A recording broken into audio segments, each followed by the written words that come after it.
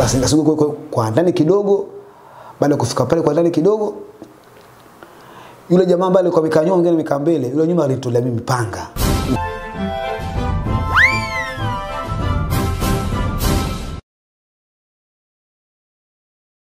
Karibu katika mwendelezo wa habari, matukio pamoja na mikasa kutoka katika chaneli yako pendwa namba moja inayokuletea habari na matukio na mikasa ya kuaminika. Niko na brother hapa. Ukimtazama unamuona mmoja, ila wangekuwa wawili ungewaona kwa sura moja, kwa maana ya kwamba ni mapacha wa kufanana kabisa. Naye kwa jina lake au kwa kuzaliwa, yeye ni Doto.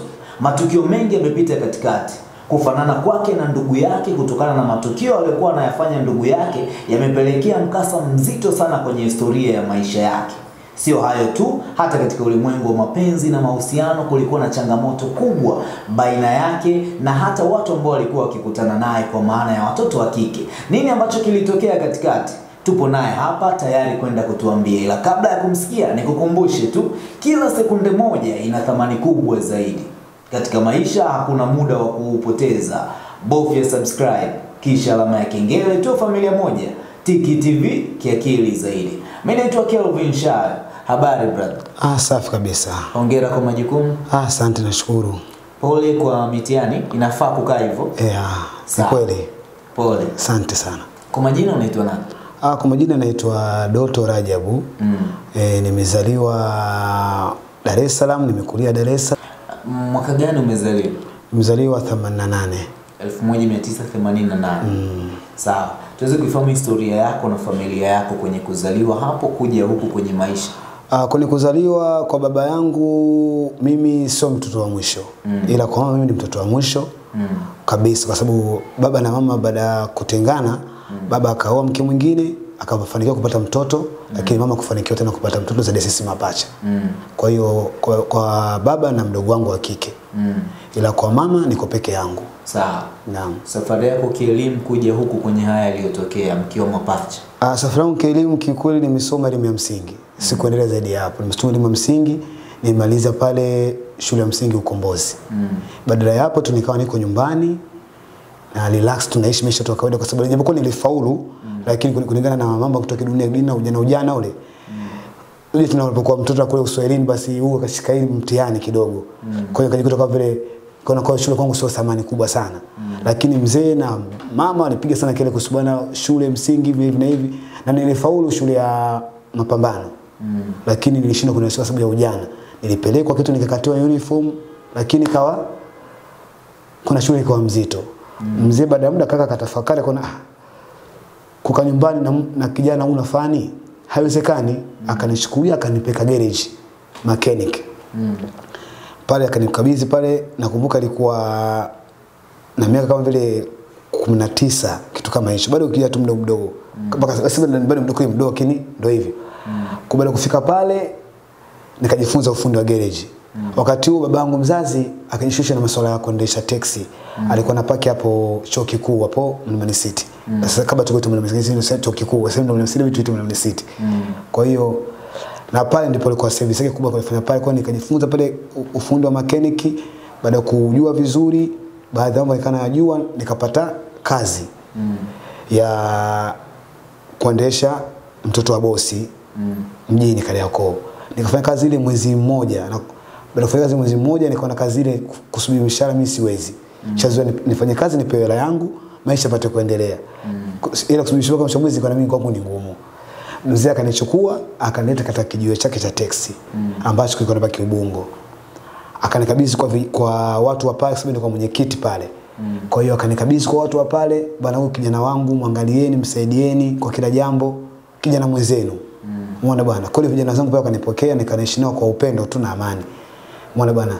Nikanapewa dewaka pale, najifunza najifunza gari, nikajua gari vizuri na nikajua namna gani ya kwenda huku na huku, kujua kazi ya taxi kuendesha abiria, bidi ujue mahala, sehemu, mitaa hivi na hivi. Mm. Baada ya kupata vile nikakabidhiwa gari ilikuwa mwaka elfu mbili na saba nakumbuka nikapewa gari kwa mara ya kwanza nikafanya pale kazi sasa kumbuka huyu mwenzangu nisema kwamba tuko mapacha mm. huyu mwenzangu alikuwa niko mbalimbali mbali naye kwa sababu alikuwa na matukio yake ajabu ajabu mm. mzee alishamfukuza nyumbani Mm. Umeona? eh? Kwa tukio gani? Kwa tukio ambalo aliingia ndani akavunja chumbani kwa mzee akachukua vitu vya thamani vya mama wa kambo kwa sababu baba tayari ashatengana na bibi mkubwa wangu. Mm. Kwa hiyo mama anajua mama wa kambo anapomfanyia kitu kibaya mtoto sio kumzaa anakuwa na paniki zaidi. Mm. Kwa hiyo sihitaji kumuona huyu katika nyumba yangu tena. Mm. Umeona? Kwa hiyo lile kitu na shinikizo la bibi mkubwa na kina mama na nguvu sana kwa wazazi wa kiume. Kwa hiyo mzee sasa na kamfukuza. Kitendo kumfukuza kumbe ndo kazidi kuchochea moto. Kwa kule alipokuwa na- alipokuwa anakaa alikuwa anafanya tukio ajabu. Abasi unakuja pa nyumbani bwana kakaako kafanya hivi kafanya hivi kafanya hivi. Mengine ilikuwa na nakabiliana nao mengine sasa kuyakabili. Mwana bwana? Kwa hiyo sasa ikafika kipindi sasa baada ya ku, kuimprove nikawa na maisha yangu sasa binafsi. Nikatoka nyumbani nikaanza kuanza maisha yangu ilikuwa mwaka 2000 na 17.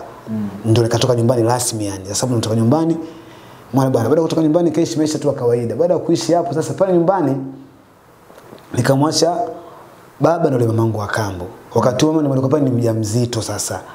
Au mdogo wako. Au mdogo wangu sasa hivi eh, ndio nimeondoka pale ni mjamzito. Umeona bwana. Basi baada ya kutoka pale mimi nika naishi sio mbali na nyumbani. Mm. Ni mtatu wa tatu au wa nne kutoka pale nyumbani kwetu. Sikwenda sikwenda mbali kihivi labda bado Mbagala, ah, ah, ni mtatu wa, wa pili. Nikakaa pale baada ya kukaa pale nikaishi pale sasa lazima ndio nyumbani kwako kuna kuangalia wazazi wako. Nilikuwa naenda namsalimia bibi mkubwa pale, hali bwana vipi mnaendeleaje hivi na hivi na hivi. Sasa wakati huo mzee naye kashafika hatua kuchoka sasa zile puko sababu kishaanza kwenda barabarani kama mimi kama zamani nilikuwa nguvu zishaisha. Kwa kabisa mimi ndo kama namsaidia sasa vitu vidogo vidogo bana na shilingi 10,000, shilingi 5,000, shilingi hivyo yani. mwana bana. Kwa baada ya hapo sasa mimi maisha yangu ambayo niliishi pale peke yangu sikubahatika kuwa na mke wala mtoto. Nikawa tunaishi tu mwenyewe tu peke yangu. Mm. Baada ya hapo sasa kuna matukio ambayo nilikutana nayo kipindi naishi peke yangu mm. mbali na wazazi. Tukio ambalo pasha yangu nilifanya likawa zito sana upande wangu, liniumiza sana, likapelekea mpaka mimi kuishi maisha magumu. Mm. Sawa? Kwa sababu shughuli zangu ni taxi. mm. Na kakaangu alikuwa ni mharifu harifu, alikuwa anachukua ana- ana- ana- anatuma wenzie wanakodi vyombo vya moto mm. wanafika sehemu usiku mm. wanapika sehemu fulani anampeleka hiyo sehemu akishafika hapo wale wanatoka wanamvamia Wanamvamia. wanamvamia yule dereva ambaye kanya kile chombo cha moto mm. simkuja na abiria kwa wanamvamia wanachukua kile chombo cha moto na na yule pale wanamharasi ana anamuumiza kama kumkata mapanga au kumua kabisa akiwa mbishi basi wanakuua mm. lakini ukiwa mwelewa basi anakuacha kama alivyofanya, kama walivyokuwa ukibishana nao wanafanyaje wanakuzuru wanakuumiza Mm. sasa siku hiyo mimi nimepaki teksi yangu usiku kama kuni saa sababu usiku nili- nimekesha. Sisi tufanya tunakesha usiku. Nimekesha, baada ya kukesha kama kuni saa nane hivi usiku. Nasikia mtu anagonga kwenye kioo changu cha gari. Sababu niko na teksi. Anagonga kioo koko.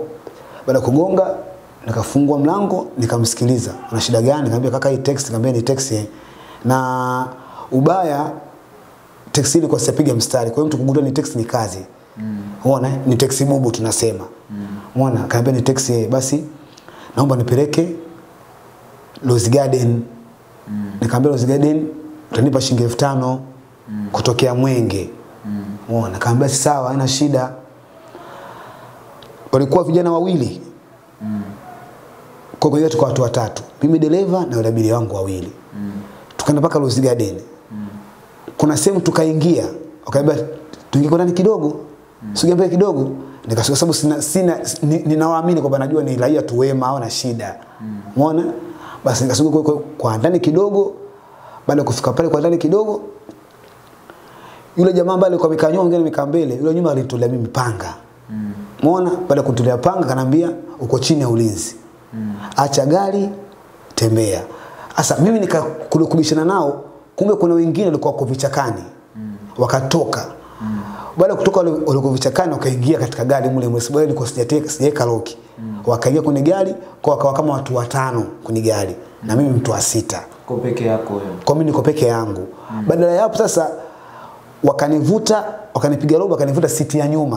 mm. Kuna ile siti ya nyuma, mimi jamaa walikuwa wamevaa ma- mask eh, ni mask zile Za vinyago au za kawaida? zile zile ambazo ni, ni kofia zile za kuvaa hivi, afsana tena zinatobolewa macho na, na pua hapa kama anazava zile Sudi Brown yule. Mm. e, kama zile. mm -hmm. e, ndio alikuwa wamevaa zile sasa. Kwa mimi siwatambui kwa sura wote. Mm. Niko natambua ni watu wao wawili tu ambao walikuja kunifuata kule kituo, kituoni kwangu. Umeona bwana? Sasa wale watu, wale jamaa kuna mtu mmoja sasa ndo kataka kunipiga mimi kisu cha tumbo. Sasa ambaye nasikia mtu anaita Doto.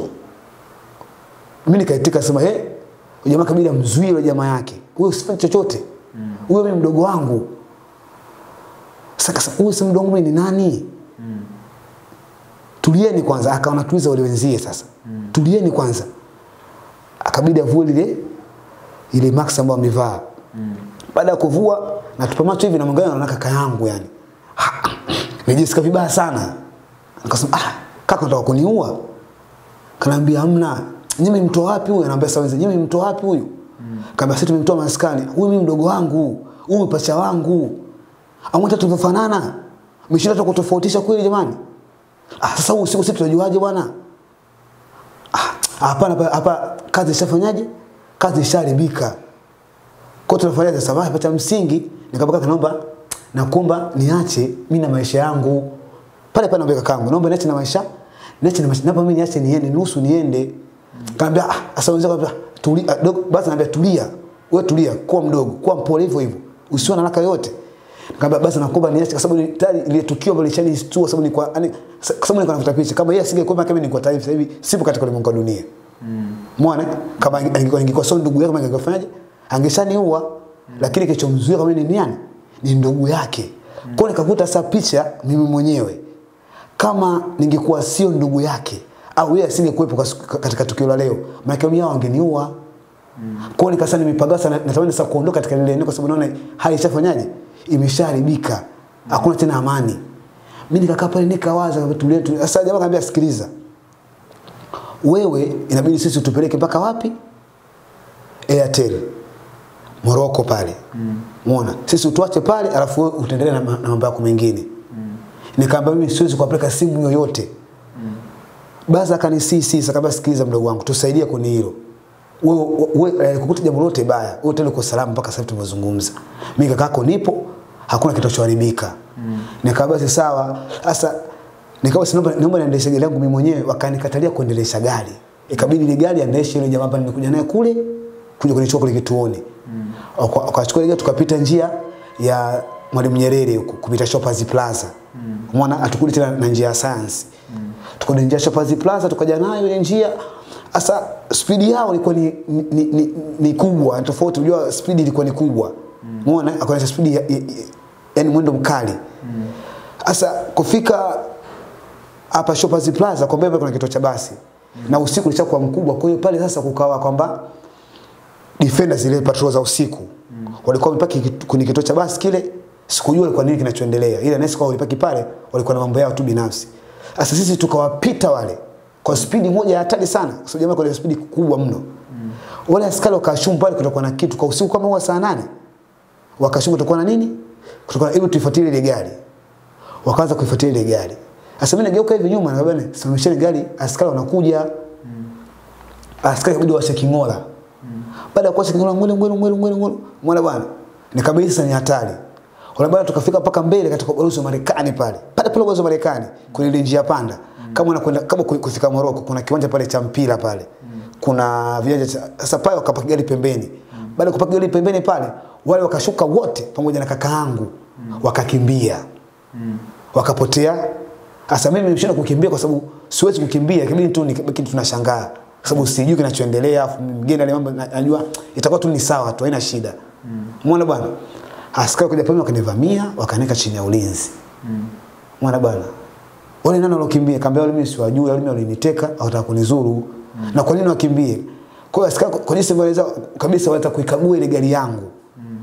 Kasa wale walipokimbia vile vitu vyao yale mapanga walikuwa wameacha kuni kuni gari. Mm. Kwa hiyo askari kunielewa kwamba mimi siko nao wale, ilikuwa ni ngumu sana. Ikabidi mimi wanichukue sasa wanipeleke Oysterbay polisi mm. kwa uchunguzi. Kule nikapaki pale gari Oysterbay wakachukua gari, askari akachukua gari, mimi nikakaa katika ile ile gari ya polisi mpaka kituo cha polisi. Mkafika pale, baada kufika pale kituo cha polisi sasa ilikuwa siku ya Jumamosi. Mm. Kwa hiyo juma mpaka Jumatatu ndo askari mpelelezi akaja kuja kunioji. Mm. Lakini askari kwa anashindikiza kwamba wakawa nadhani kwamba 100% huyu mtu na wale watakuwa na kitu hichi Kimoja. kitu kimoja. Kwa hiyo walikuwa wanashindikiza sasa niwapeleke niwapeleke au niwaoneshe wale watu wanapatikana wapi.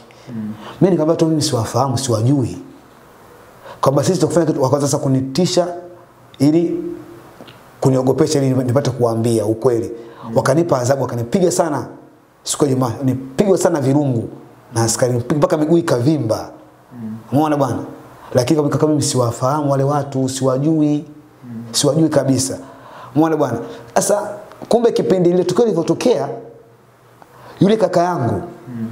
akampiga simu sasa kula kabidi ampige simu baba mm. bwana kumwambia kwamba nimemsababishia matatizo Doto mm. kwa hiyo Doto yupo katika wakati mgumu sana kwa sasa hivi mm. kwa hiyo nakutumia hela pesa kidogo ili uende ukamfuatilie kituo cha polisi ujue na, ujue tuna, ili umtoe pale asiende kukaa kwa sababu ana shida mm. shida nayo mimi ndio sababisha matatizo Asa na mzee naye pia akafanya makosa. Mm. Alipotumia ile pesa hakuja kituo cha polisi. Mm. Akaenda kufanya mambo mengine. Mm. mwana bwana. Mimi sasa kila nikikaa sasa ikabidi sasa kuna siku ya kwanza sijamwona ndugu yangu yote kuja. Siku ya pili sasa ndugu yote kuja. Ikabidi sasa ni- nimwombe askari wa wa, wa counter pale. Mm. Nikamuita kama kana samani. Naomba nimpige simu ndugu zangu wa- wajue mimi nipo katika matatizo. Mm. Nikampigia simu nani bosi wangu ambaye ndio mmiliki wa ile gari. Mm. Nikampigia simu bosi nikamweleza Mwana bwana akawa sasa nakuja kutoka kwa kwa Costa Bay akaja mpaka Costa Bay. Baada kuja Costa Bay Bosi ulimwelezaje? aliweza bwana nimekamatwa kwa kituo cha polisi na matatizo na kuomba uje. Sikumweleza namna hali ilivyo kwa sababu ningemstua ila pale nilikuwa fini ningemhadithia. Una shida gani kabla kuna matatizo binafsi tu yametokea gari na kuomba na kuhitaji uje. Mwana bwana kwa asubuhi saa 2 yule bwana kabla kwenda ofisini ikabidi aje pale kituo cha polisi Bay. Baada kufika pale Costa Bay, mimi nika nikaitwa na askari nikaenda kule kwa wapelelezi kule kwenye chumba maalum. mm. Muone bwana, nikakaa pale askari akamwambia bwana kuja kumleta kijangu fulani eh unamjua unamjua namjua nani yako ni bosi wangu. Askari sasa mueleze kila kitu ambacho unachokifanya. Nikamwambia bosi bwana mimi kichonikuta bwana nilipakia watu lakini watu niliowapakia kumbe walikuwa sio watu wazuri mm. lengo lao la dhati kuja kunizuru mimi na kuchukua mali yangu. Lakini mwisho wa siku ikashindikana mm. baada ya kushindikana mpaka sasa hivi naona sasa wale jamaa baada ya ku- kushindwa kunichukua ikabidi wafanyaje wakimbie sikumwambia kwamba kana kwamba kwamba kuna kile tukio kulu alikuwepo mm. sikusema kwa sababu ningesema ingekuwa ni mtihani Mwana bwana. asubuhi, askari akanikatisha. Sijaanza kuongea akabaya, akaambia sikiliza kwa mheshimiwa. Huyu kijana wako ni jambazi. Na anashikia anashikiana na majambazi kutumia gari yako wanakwenda kufanya uhalifu na gari yako ndio ina- ndio inabeba vitu vyote vya uhalifu. Alafu huyu ndo dereva wao. Sasa wenzio wamekimbia, yeye ndo tumemkamata. Kwa hiyo hii gari yako alikuwa anatumia sio kubeba abiria kwa kufanya uhalifu usiku. Na wenzie, wenzie wamekimbia, yeye ndo tuko naye. Nikamwambia bosi sio kweli. Nikamwambia sio kweli vipi? Kwa sababu tumekuta na vitu vya mapanga kwenye gari. Tena sio moja, mapanga karibuni matatu manne. Wewe ni mhalifu na wenzio wamekimbia kana kwamba hawana kweli wanaiba, baada ya kuiba vile vitu wanavyoviba wanakuta wanavunja, wanateka katika gari na gari yake ndio ndio kubebea mali za wizi. Kwa hiyo naye ni mwizi vile vile. Hasa bosi kwa sababu alikuwa kwa haraka haraka akaamini lile swala. Umeona? Basi akaniambia basi wewe nenda mtaji tutafanya tutafanyaje mimi kadishwa kikarudishwa selo kule ndani mm. baada kudisha selo nikasa sina jinsi sasa nikakaa siku ya kwanza siku ya pili niko ndani simuone ndugu yote kuja Simoni baba wala mama Wala sijawatafuta kwa sababu najua taarifa hizi wanazo. Niko na meza taarifa hizo sababu kuu hawezi akakaa kimya. Sababu kipindi anatoka jua mimi nimekamatwa. Kwa hiyo hizi taarifa wanazo. Basi mimi nikakaa nikatafakari kwa mm, sasa siku hiyo niko ndani siku ya sita au ya saba nasikia naitwa majira saa nane mchana na askari. Niko selo. Mm. Ramadhani Rajabu nikatika namu njoo huku mbele nikafika pale getini akanifungulia geti yule askari. Nikuchungulia hivi pale reception namuona baba yangu mzazi.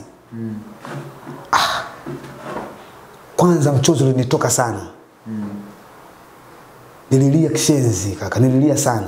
Mm. nikaona da yani siku zote ndo nakuja leo baba kweli? Yeye anasema kimoyomoyo lakini. Mm.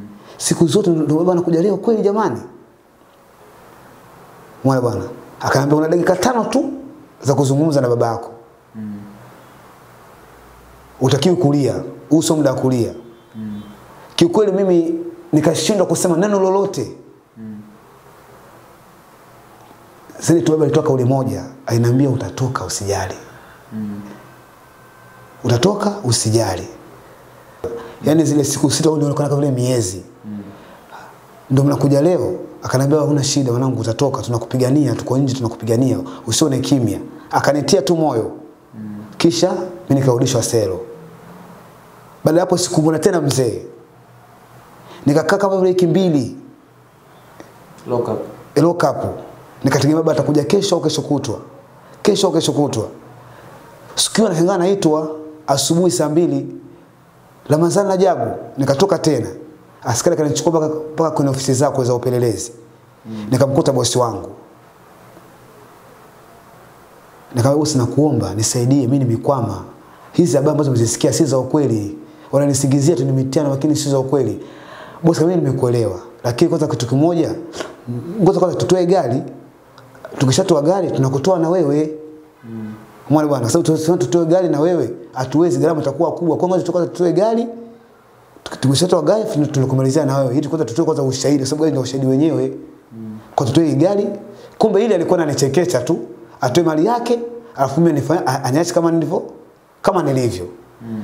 Mkasema si sawa, mimi nikasaini pale kwa sababu uwezo utaga bila mimi kusaini. Kasaini pale kila kitu. Mwana bwana. Kweli gari ile ikatolewa, mimi nikabaki pale ndani. Sasa nikakaa badala muda miezi nazidi kwenda, nikatolewa mabati, nikatolewa ustabili, nikaitwa kituo cha Mabatini hichi hapa. Umeona bwana? Baada kufika Mabatini hapa nikapata askari mwingine mpelelezi. Umeona bwana? Wakaniambia mimi tukupeleke jela. Nikamwambia sawa, hamna shida, sasa nitafanyaje? Lakini inabidi utueleze maelezo yako vizuri ili tu, tu, tumpelekee mpelelezi wa- wa- mwanasheria asaini uende jela. Nikamwambia sawa. Basi baada la muda nikaitwa siku ya pili tena nikaitwa baada ya kufika Mabatini pale sasa. Nikaitwa siku ya pili nilipopelekwa pale siku ya pili nikaitwa. Nikakutana siku mwingine mpenzi, akaanza kunichukulia maelezo tena na upya. Eh, nieleze imekuwaje, nikamwambia mimi vitu sijafanya. Sasa wakawa wananishindikiza nikubali. Kwa mateso nilikuwa nayapata, nilikuwa na hapana. Nisije nikasije nikaumia zaidi. Ikabidi nikubali kila kitu ili niwe salama kwa sababu walinishindikiza na kunipiga kunipiga na kuni mpaka shoti ya umeme mpaka na shoti ya umeme na shoti ya umeme ili nikubali. Baada ya kukubali kwa maelezo yako yamefanyaje yamekamilika. Baada hapo akamwambia sasa inabidi faili lako iende mahakamani. Nikamwambia sawa, hamna shida. Sasa nikategemea kwamba bosi anaweza akaja na li- na- na liniambia atakuja kunisaidia. Kwanza tuwe gari faida hapa nafuatia mimi. Sasa nisha nisha mwisho sasa ustabei nimetoka kwa Mabatini. Nikawa nimekata tamaa kabisa ya kutoka katika katika maisha tena ya uraia, yani uraia tena sito- sitokuja tena uraiani. Nikatimza tamaa. Kwa sasa mimi tena ni tena kwenda kutumikia tu kifungo jela. Sasa pale ndani niko ndani kule wale mabosi wenzangu kanaambia ah, kwa kesi uliokuwa nayo yaani miaka 30 jela. Mabosi?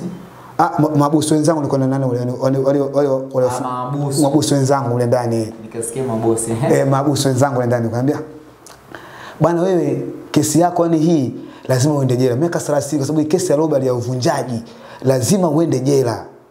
Sasa ile hela kus- kusikia miaka 30 na umri nilokuwa nao nikawa napiga mahesabu ndio nikazidi kunyongonyea nikazidi kuwa mdogo kabisa. Kuna ah! Mimi nakwenda jela kwa miaka 30 kweli umri huu kweli? Ah basi sasa siku nimekaa ndani mule akaja askari mpelelezi akanita Ramadhani ajabu. Eh njoo. Nikatoka nje tukakaa kwenye chumba chake peke yake. Akanambia wewe una ndugu akukusaidia? kukusaidia? Nikamwambia mimi ndugu ninao lakini ndugu zangu kama unavyoona maisha yetu haya ya uswahilini haya tunaishi kwa shida kuna matatizo mtu anaku, anakuwa anakuacha. Kwa sasa mimi mimi nataka nifanye pango upate zamani ili, ili uende ulaiani. Afu tujue tunafanyaje. Nikaona da kwa hiyo tunafanyaje sasa? Nikamwambia mimi cha kufanya hapa kikweli mimi maisha yangu unavyoniona bwana afande mimi ndo baba mimi ndo mama. Yaani kipindi mimi nilivyokaa ndani siku zote nimesema mimi niko huko ndani. Kwenye huko nje sina nachoingiza wala na, wala nachopata. Sababu tunafanya labda labda cha kufanya. Niongee na baadhi ya watu kule nyumbani wauze TV yangu. Pesa itakayopatikana tukupatie mimi nipatie zamana. Kani zamana shilingi ngapi kaniambia nataka zamana laki tatu. Nikamwambia kitu mimi uongo. Nitakuongopea afande siwezi kuwa nayo. Si hapa wala nyumbani. Mm. kaniambia kuwa, kuwa, kuwa serious kidogo. Nikamwambia labda laki moja na hamsini. Tu- tunaweza kuipata kwa kesho laki moja na hamsini? Nikamwambia nikipiga simu nyumbani kuna mtu nikimpigia simu mwana bwana anaweza akaja akanifanyia maarifa akauza ile TV yangu nikampa maelekezo akaenda kuuza TV yangu basi zamana nikatoka. Akaniambia sawa na shida. Namba yangu ambayo unajua kichwani nikampiga simu baba. Simu yake ilikuwa iko kichwani. Nikapiga simu namba ya baba ikawa inaita ikupokelewa mara ya kwanza. Nikapiga simu ikapokelewa. Mara pili mzee akapokea. Halo vipi? Safi. Mimi afande fulani hapa. Aha unasemaje? Ah ongea na kijana wako. Kaambia mzee hey, baba shikamoo malaba. Vipi hali safi? Unaendeleaje? Kama mzee bado hivyo hivyo. Eh niambie. Kama mzee bwana hapa mimi nimepata afanye Mungu alisaidia siku ile ile na, na siku ile pesa ikapatikana. Patikana siku ile ile usiku ule asubuhi saa mbili baba akaja kituo cha polisi. Baada ya kuja kituo cha polisi akampiga simu la askari simu namba alikuwa nayo wakakutana mimi saa mbili asubuhi nikaitwa nikatoka nikaambia chukua kila kilichokuwa chako Mm.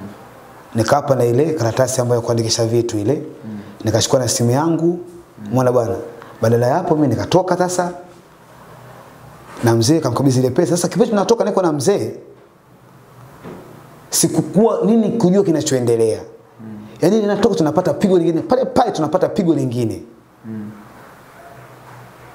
naona mzee namweza vipi kusukulwa ushawasiliana naye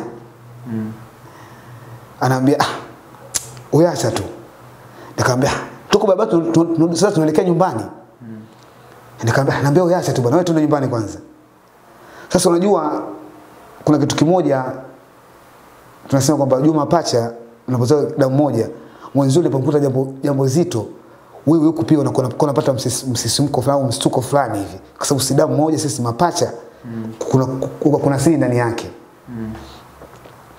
mimi nilipotoka pale na kumweza swala kuna jinsi alivyonijibu moyo wangu kaanza kuingia kama vile simanzi na huzuni mm.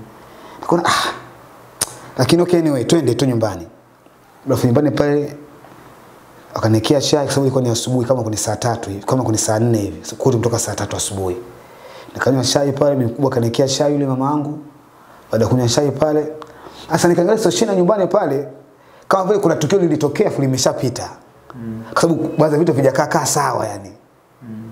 ah. nika sasa niko ndani nimekaa nabadilisha nguo nasikia jirani anapita nje bwana. Ah. sasa mimi niko ndani kule nikasikia wanapeana pole. Ah, mzee mzangu bwana sasa hizi bwana salama bwana bwana pole kwa matatizo bwana. Namsikia bwana mwanao amefariki bwana. Nikamwambia ah, eh kweli bwana mipango Mwenyezi Mungu bwana pole. Sasa zile pole na mimi niko niko ndani zikanistua. Ikabidi ile zoezi la kubadilisha nguo mimi nilisitishe kwanza kwa muda nikafungua mlango nikatoka chumbani kwangu nikaenda sebleni mzee ana, ana, anaingia ndani bila kusemana na yule ule mzee mwenzie pale ana, nakutana sasa uso kwa uso tunatazamana sasa. Anaambia vipi? Nikamwambia mzee safani sana. Hebu niambie nini kinachoendelea? Kabisa mzee nikeshina anza kuniambia bwana hapa kipindi huo uko ndani kakako amefariki na tushamzika. Nikamwambia kulwa. Kaambia yeye hivi tunazungumza kuwa tumemzika. Yani hata wiki ana kuna unasema shida nini? Labda mambo yake yale yale. Kana kufanya jambo ambalo limemgarimu ameuawa. Wamemua vipi? Hebu ni- nihadithie ilikuwaje hadi kumatoka unamkuta. Akaniambia yule bwana alikuwa anakaa Mbagala na mwanamke mm. yule mwanamke alikuwa anakaa naye alimpa ujauzito mm. yule mwanamke walifanya tukio kubwa walipata pesa lakini tukio likawa kubwa sana la kumzuru mtu walifanya tukio la mauaji mm. tukio ambalo walimuua mtu walimchukulia pesa milioni 35 mm. wakamchukulia na laptop na baadhi ya vitu vingine vingine vidogo vidogo. Jamaa alikuwa katika gari, alivamia katika gari. Kwa hiyo sasa yule jamaa alimtemeke. Kwa hiyo ndio maana nao wameshindwa kujivumilia kama na, na si peke yake wameuliwa karibuni watatu. Ndugu yako ndo wanne. Na habari za ndugu yako ilisema kwenye gazeti zimetoka ndo na, na pesa pi, gazeti tena kumbuka gazeti la Mwananchi. Mm. Eh, naambia soma hii si picha ndugu yako. Hao sasa ndo wenzia. Nikasoma zile habari zote. Kwa hiyo kukaa tena kuna namna. Tafanyaje? Kwa hiyo ndio tulipanga tujiandae baadaye tukikaa tukitulia na nikupe historia kaka kwamba sasa hivi hayupo katika katika ulimwengu wa dunia. Na nilikuwa na mpango hapa tukimaliza hapo nikukuonyesha kaburi ya ndugu yako lilipokuwa nilijisikia vibaya kwa sababu hata kama ndugu yako alikuwa mbaya lakini ndugu ni ndugu.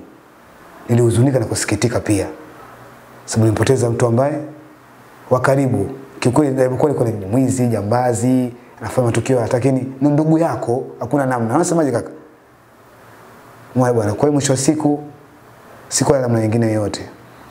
Basi mimi nikarudi tena maisha yangu ya kawaida vile vitu vya marehemu nikachukua tu friji tu katika vile vitu. Umeona? Nika nikaona kule katika geto langu nilikuwa nakaa nalo. Umeona? TV na vitu vingine nikamwachia pale mzee vikawepo nikaanza sasa maskani kuishi maisha yangu ya kawaida. Nikawa sina mchongo wote. Nilikuwa nafika tu maskani napiga story na washikaji na zangu nyumbani. Piga stori na washikaji sababu washikaji nao pia walikuwa ile muda kuniamini walikuwa bado hawana. Aweza kumpa gari huyu bwana huyu. Najua midomo ya watu wengi katika tukio, la hatari kama ilivyotokea la wizi kuiba majambazi unajua kwa mwisho wa siku watu wanaogopa kunipa gari zao. Unaona bwana? Sasa nikakaa na muda kuna fangu moja nakutana naye posta anaitwa Haji ana vipi bwana nilikuwa nakutoka bwana nakwenda kulinyua leseni yangu. Pale sasa ananistua jamaa. Vipi kaka? Fresh mambo vipi? Ah, kama kawaida bwana. Upo na nipo. Maisha mimi bwana hivyo natetea tu nipo nipo tu ndugu yangu. Ah, basi poa vipi? Sasa una, mishe gani kama sasa sina mishe. Una gari kama ah sina gari. Ah, sema nini kwa bosi wangu mmoja anaweza akanua gari akanua gari. Kwa kinua gari mimi gari yangu nitafanyaje? Nitakuwa chef nitaenda kushoga lingine kwa bosi mwingine huyo. Kama si poa akachukua namba zangu za simu sababu yake nilikuwa sina. Kubeshana namba pale.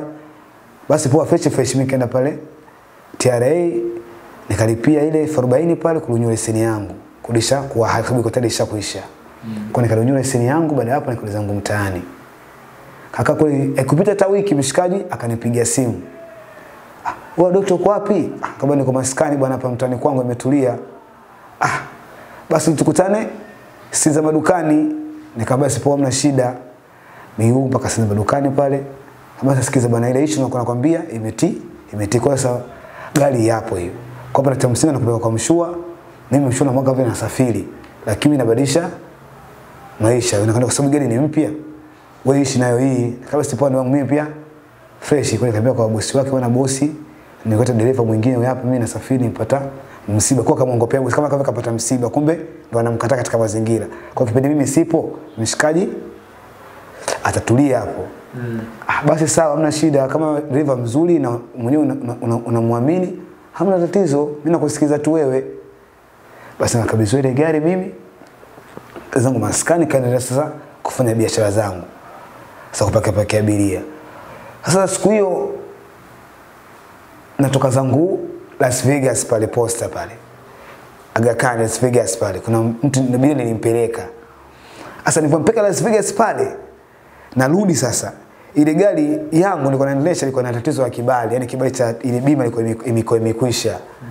Kwa sababu bima ile kukata ilikuwa bado kama miezi miwili bado kama mwezi mmoja hivi. Kwa sababu ikishafika miezi mmoja, traffic kukamata wanakuandikia faini ima unawapoza kidogo. Umeona? Sasa kufika pa Sayenda Bridge kuna kaida ya kusomesha mataa. Mataa kuna mataa kuna traffic light. Mm. Kwa sababu mimi kipindi na zile taa ghafla taa zika, zika, zika nikachelewa taa zika zimewaka nyekundu. Sasa baada taa kwa nyekundu nikalimekaa upande wa kushoto. Unajua ile lami ya Sayenda Bridge zinapanda mbili zinashuka mbili. Mm. Kwa mimi niko niko upande wa kushoto. Sasa huku upande upande upande wa kulia huku ile lami ya pili ambayo inapandisha ambayo inapandisha naye kwenda naye kuja naye Mwenge. Mm. Kulikuwa na gari moja imepaki aina ya Prado. Mm. Umeona? Sasa mimi barabara zote zilikuwa zinakuja njia. njia moja eh. Sasa mimi nikaa naangalia askari wasije wakavuka kuja upande wa pili. Nikawa na sababu langu sina matatizo kidogo, vibele vijakamilika, Mm. kwa nikawa na wasiwasi. Kaka nikasema ah, sasa mimi naangalia kule kwa kuna kuna ile pado kulikuwa na binti, kulikuwa na mdada tu mtu mzima. Akana naye ananiangalia mimi. Lakini mimi simwangalii yeye, ila yeye kwa fikra zake akahisi kwa mimi namwangalia yeye. Umeona bwana? Sasa dada akawa ananiangalia. Kwa mimi simwangalia, lakini macho kwa mimi namwangalia yeye, lakini mimi simwangalii yeye. Nikaka mimi mwanzo wote kwa kwa askari usije kwa kwa traffic kule, waje kuniletea shida hapa. Umeona bwana? Sasa tazi karuhusu. Baada ya kuruhusu, natia tu gia tu naondoka zangu. Ile dada ananipigia kashusha kioo chake sasa kanipiga makofi ili kunistua. Kwa sababu nilikuwa niko mbali. Pa pa pa. pa. Sasa mimi ndo nastuka sasa kustuka tayari zisharuhusu tayari. Kabidi mimi niondoke zangu. Kwa hiyo sasa sikutilia tena maanani. Sasa chama usijika chama na askari. Sasa kumbe nilikuwa na rafiki yangu moja, bosi wangu naye pia ni abiria wangu. Akanipigia simu, bwana nakuomba pita kwa Okta hapo. Kuna mzigo wangu nishukulie Umeona bwana? Alafu nakutumia namba za mshikaji. Kuna mzigo atakupa, alafu uniletee ofisini kwangu. Nikaweka kama na shida. Fika wa Faransa pale, nikaingia kushoto kwa kutoka mtaa Leaders pale. Nikapaki gari, jamaa kwa kanushia ile namba ambayo alimeta alibeta baada kushia ile namba nikampigia simu ile jamaa. Kaka habari eh, vipi hali bwana nimetuma na fulani bwana anahitaji. Amesema kuna mzigo bibi nikabizi Akaambia ah, okay sawa hamna shida.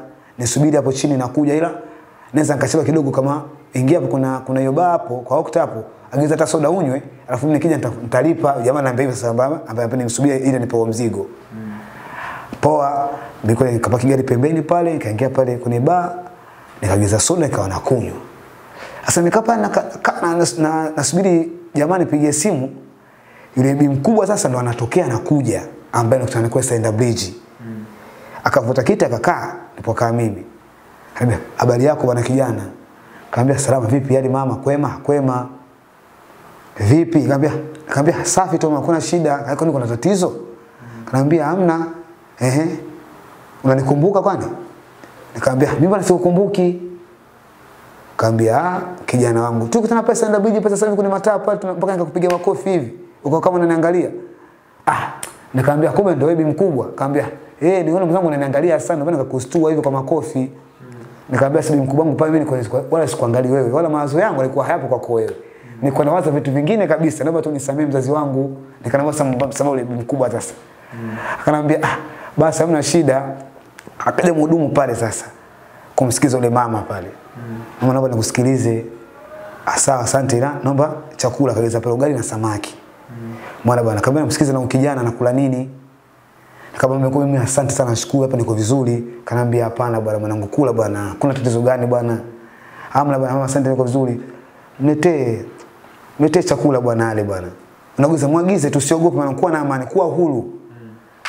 Asinete bwana chipsi. Kabla mlete chipsi na kuku. Kwa hiyo mkubwa kanagizia chipsi. Chipsi na kuku zile zikaandaliwa pale zikaletwa. Sasa mkubwa alikuwa niko pale anambia vipi bwana salama? Una- Unajishughulisha na nini? Nikamwambia bwana najishughulisha na deliver taxi. Mwana bwana akasema ah asante vizuri sana. Mimi bwana mkazi wa Arusha. Ananiambia sasa yeye, mimi mkazi wa Arusha lakini maisha yangu naishi South Africa. Mm. Nimekuja tu mjini kutembea tembea kidogo naomba nikuja kuweka sawa. Kabisa sasa mna shida. Basi sasa mna shida. Sasa wiki tunaongeongea pale yule jamaa akanipigia simu sasa. Mm. Ambaye nilimfuata pale. Kaka uko wapi? Kabla niko hapa kwa, kwa ndani kwenye kwenye kwenye bapa na kunywa na kunywa soda. Basi njoo niko hapa njoo hapa toka toka toka barabarani hapo nikupatie mzigo. Pale kuna barabara kubwa sana pale barabara lami ile. Kwa kutoka pale kwa nje mnamuona. Basi sawa. Kabisa bibi mkubwa imebebwa na mtu ambaye anamfuata ndo huyu ameshafika. Kwa hiyo nakomba ruksa yako. Ah, sasa chako chako namwachia nani?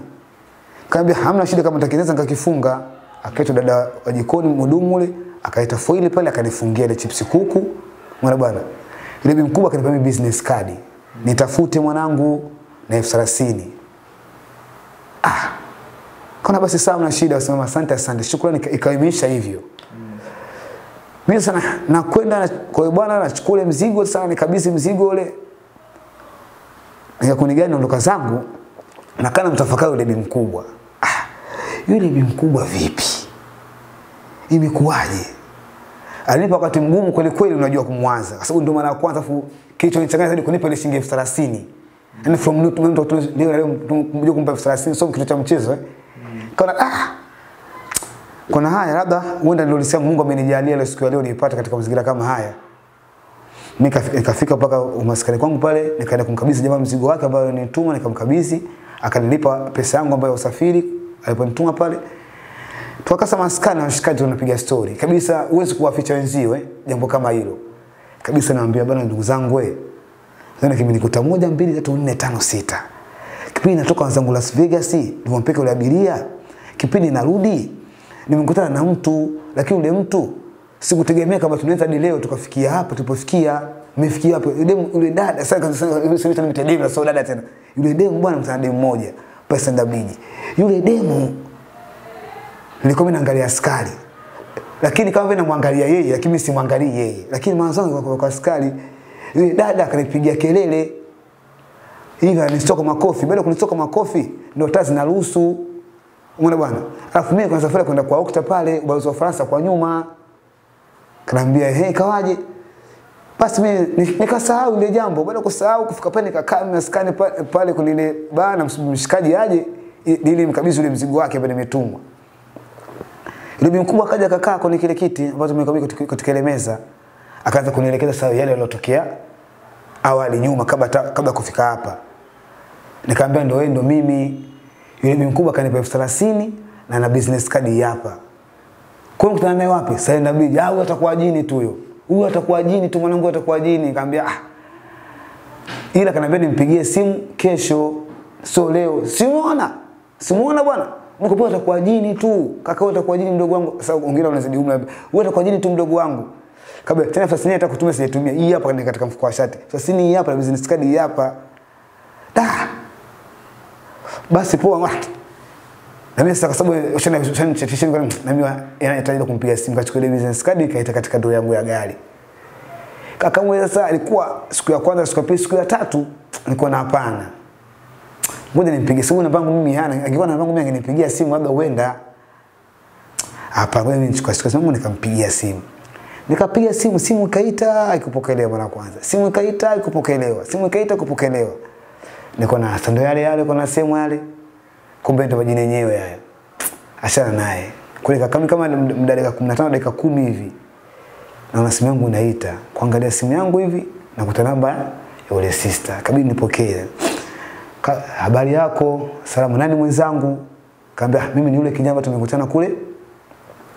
Saenda pale kwa ukuta pale juu wiki iliyoisha hii. Ah okay sawa. Sasa mbona mbona ueleweki wewe kijana? Vipi bwana nikwambia nipigie simu jana na tangu jana nilipiga simu leo nakuja kunipigia simu. Kaba sasa yule mamangu ana mizunguko ya kazi zetu za taxi hizi bwana tunatafuta hesabu za watu. Kwa hiyo muda mwingi tuko barabarani. Ah okay. Sasa hivi uko wapi? Kabisa hivi niko niko Mwenge hapa. Ah okay sasa unaweza kuja hapa samaki samaki Mbezi Beach? Iko tu kabla samaki samaki bado haija haijavunjwa pale Makonde kwa Mbezi samaki samaki Muona bwana? Ngana mimi naweza nkaja basi njoo sasa hivi. Nikaba sasa nije na gari yangu au nije hivi hivi tu kwa mguu kwa kawaida? Kaniambia gari yako wewe acha tu wewe njoo mwenyewe. Kwa nikamwachia rafiki yangu pale dewaka gari bwana mimi naenda hivi moja narudi. Kwa gari nikaacha dewaka kwa rafiki yangu. Nikapanda pale basi mpaka samaki samaki pale Mbezi Beach. Fika pale nikampigia simu. Akaniambia ingia ndani. Kaingia ndani samaki samaki. Kwa hivyo nikamkuta amekaa upande wa kushoto na wenzie anazungumza kama vile upo katika mazungumzo sio mazungumzo. Akanambia ani kwa ishara hapo hapo ulipoona hapo kwa mtu nikusikia sema hapo nilipoingia kuna meza iko haina mtu ni iko open haina mtu yote. Akanambia hapo hapo kaa nilikuwa nikavuta kitu nikakaa pale. Baada ukaa pale akamwita mhudumu akaongeongea naye ule mhudumu akaja kwangu mimi akanambia kasema nimeambia naomba nikusikilize. Nikaambia sahe kuna nini? Kama kuna kuna ugali kuna wali wali samaki basi naomba ugali samaki. Akaita pale ugali na samaki. Kwa maana kwanza kupata ugali yani tangu yani unajua tangu ni tangu ni zaidi ndo maana kwanza kula ugali samaki na sato. Sijawahi kulaga samaki sato kwa kweli. Tuango sana. Bwana anasema ugali mkubwa samaki samaki hili ugali kidogo dogo tu yani ile kishua zaidi ya tunasema hiyo. umeona bwana? Nikatoa pale samaki pale na ugali nikawa napiga samaki sato ule. Mwana bwana nikapiga samaki nikamaliza nikammaliza vizuri kabisa pale nika nimetulia nasubiri sa mwongozo kutoka kwa kwa sister yule ambaye ameniita pale Kanimekaa nimemsubiri pale, kamaliza mazungumzo na mabwana. Baada ya kumaliza mazungumzo, wakaagana pale. Baada ya kuagana, dada kabisa sasa sogea kwangu mimi sasa. Vipi mambo? Nikamwambia fresh tu, kwema kwema. Mbona na ndio anapiga simu leo? Kabla dadangu bwana, kweli umesema nisamee tu kwa sababu mimi kazi yangu hii hii gari mimi sio ya kwangu, lini ya watu. Nadaiwa hesabu kila wiki, sasa nipeleke hesabu. Kwa hiyo sasa muda kukaa kufikia jambo lako lile imekuwa ni- ime- nimeshindwa. Kwa hiyo leo nakwenda nikwenda natafuta hesabu, alafu wiki yetu ni mimi nilikuwa na hesabu wiki mbili nzima, nilikuwa sijalipa. Kwa hiyo ndio maana nilikuwa naendeleza hata muda kupiga simu nikakosa kabisa. Ah, Kwa hesabu nilipeka shilingi ngapi kwa wiki? Kwa sababu unapika laki moja kwa wiki eh, kila wiki laki moja. Kwa ndio maana nika nimepagawa dada yangu. Naomba tu nisamee, lakini sitakudharau. Kanaambia sasa una shida. Sasa una kazi gani? Kama mimi ndote niko kazini. Kwa sababu dereva taxi ana muda kupumzika. Ndote niko sasa hapa nasema tu kwa sababu nimekuheshimu ndio maana nimekuwa kuja hapa. Nimeacha nimeacha kazi nimekuja kwa kwa lakini hata hapa hapa niko kazini. Sasa bila ku, kupoteza muda mimi nilikuwa naomba ombi moja tu nipeleke Seacliff. Nikamwambia sawa, hamna shida. Tukatoka pale kwenye gari yake, akaniambia naomba uendeshe gari. Akanipa funguo mimi, nikaona na drive sasa kutoka pale samaki samaki mpaka Seacliff hotel kule. Kwa Seacliff hotel pale nikapaki nikaingia mpaka mule ndani tukapaki gari kwenye parking pale, akaniambia unisubiri mimi nitarudi. Sawa, nisubiri usitoke na simu yote. Kwa hiyo hapa nikamsubiri. Dada kwanza nilishangaa kuniamini, ndio mara kwanza akanikabidhi funguo ya gari, afu mimi niko pale nikashangaa sana. Kwa eh, dada ananiamini namna hii kweli? Eh, ndio mara ya kwanza kunaona bado kama hii. Eh, na funguo ya gari. Eh, kajiamini nini huyu mwanamke huyu? ndo yangu ya kwanza. Mbona nalo ngumu huyu dada huyu? Nikasa najiuliza kimoyo moyo sasa.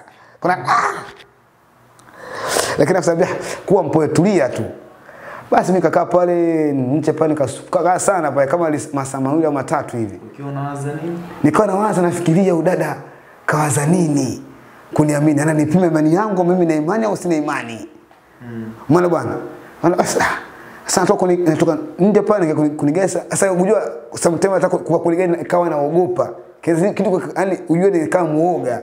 Sasa baada kwa kwenye gari nikasa nimekaa nje. Mvua inanyesha lakini niko nje ya gari. Gari ninayo nafunga gari niko nayo. Lakini kwa ngumu ya gari. Sababu sio gari yangu afu gari ya thamani kubwa. Nikawa muoga, nikawa mpole sana nikawa naogopa. Mpaka na askari pale wa, wa getini akaniambia vipi mwanangu una gari kujificha kwenye gari yako mule? Kaka ungejua wewe usingesema neno hayo kweli ndio lakini ndio malango ya kwanza simjui mimi ni gari ile wala mimi anijui kwa hiyo siwezi kufanya kitu chochote yani mpaka naogopa mm. kabla. ila kweli mwanangu wasiwasi ndio akili jamani naambia wasiwasi ndio akili bwana. Mm.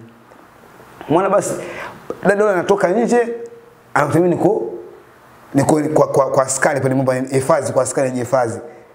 Mwana bwana anaambia yani nisogeze gari pale kwa dibu ili aingie hata kuloa na mvua. Kabisa nitoe lock ya gari kaingia kusogea mpaka pale pale wageni wanaposhukia au wageni wanapokuja kuingia hotelini.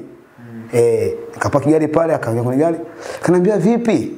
Kaambia safi dadangu. "Ah, Mbona sasa unapigwa na mvua wakati gari ipo? Kaambia ah dadangu unajua tena bwana magari ya watu bwana magari sio ya kwetu bwana sisi wengine bwana tuna wasiwasi bwana. Wasiwasi wako nini? Mimi mkabidhi funguo ni kwa oh ujiamini. Nikamwambia hamna dadangu sio hivyo mamangu bwana Si tu mwingine bwana hajafunzwa hivyo. Waoga na, na maliza watu bwana. Mm. Ah, usiishi maisha kimaskini. Maisha hii roho kimaskini achana naye bwana mdogo wangu bwana. Mm. Anipeleke nyumbani. Saa moja tunatoka zetu wapi tunaenda tunaenda nyumbani kwake. Kaambia wapi? Kaambia nipeleke nyumbani Mikocheni hapo. Basi huu mpaka Mikocheni pale, tukaenda Mikocheni, baada kufika Mikocheni pale ndipo alipofikia nyumbani kwake. Baada ya kufika pale, tukafunguliwa gate, tukaingia ndani kwa sababu pale mpaka alikosoa nyumbani ni apartment. Kwa hiyo tukaingia mule ndani, kana kaelekeza sema bwana paki yangu ile pale, kwa ingiza gari pale, kwa hiyo kaingiza gari yake pale, nikaipaki vizuri, nikashoka kwenye kaniambia karibu ndani. Kwa nikafika pale ndani, eh, alikuwa anaishi na mfanyakazi wake pale ndani kwake akakaribishwa pale ndani, akamwita dada wake wa kazi, bwana, chakula kiko tayari? E, kiko tayari dada. Basi muandalie chakula kijana ale. Basi sawa. Dada yule akaniambia unaweza ukaribia mezani kakaangu pale. Mm. kwa hiyo nikabisa katika meza chakula ile. Akaniambia hapa unajipakulia tu mwenyewe kiasi chako ambacho unaweza kumaliza. kumaliza hata ukadiria hakuna kukupakulia. Kwa hapo kuna hicho na hicho na hicho na hicho basi ule msasa nilivyoona pale kwa kweli da ni msosi ambao sijawahi kula gani nikuta kuna roast la nyama kuku kuku kukaanga even yani ma- masafta safta yale unajua ile meza mitakata, meza mikamilika, meza iko vizuri kwa hata ujua ze kipi mwana bwana sasa kwa unyonge na ugeni ule nikajikuta kwamba nimekula ubwabwa tu na mchuzi. Hata mimi mwenyewe sikula kiukweli kabisa sababu ya uoga. Sasa nataka kusema naogopa. Sasa dada baka kanaambia sasa umekula nini? Kula usiogope hapa kwako, kuwa be free bwana, jiachie. Kichwani unawaza nini? Nawaza vitu sasa dada ananiamini kitu gani? Yaani ufahamu dada amejiamini nini mpaka mimi kuniamini kunitoa kule kunileta hapa. Au ananipenda? Ndio nikawa nawaza hicho kitu sasa. Sasa sijui hii inakuwaje. Labda basi kana nimekaa pale nimeweza kula kile chakula nikanywa juisi na maji. Mwana bwana. Bi mkubwa anatoka ndani anakuja pale anambia njoo tuzungumze.